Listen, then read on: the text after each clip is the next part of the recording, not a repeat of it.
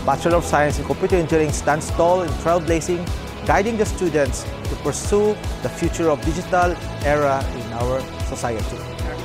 It encapsulates a legacy of pursuing excellence through the hard work of our students so that they may be able to attain their fullest potential as a citizen of the digital era.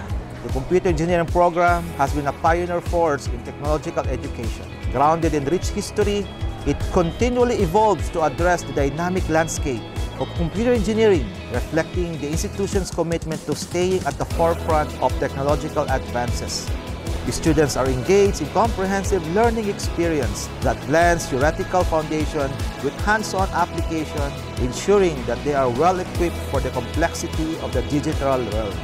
So the program serves as a vibrant hub for research and innovations. The students actively participate in cutting-edge projects, collaboration with industry partners to address contemporary challenges, a program that pursues the legacy of the University of Nueva Cáceres while doing the future of our students.